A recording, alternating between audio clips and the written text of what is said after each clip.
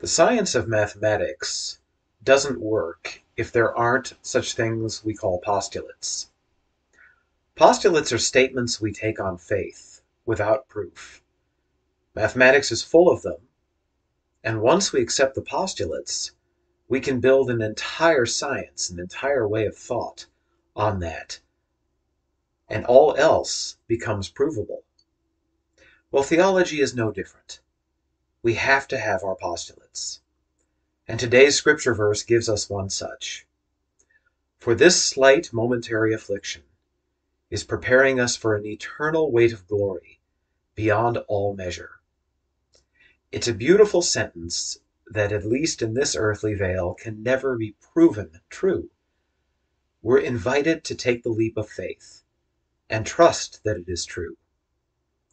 Now, if we do that, it begins to change everything in our lives from the inside out.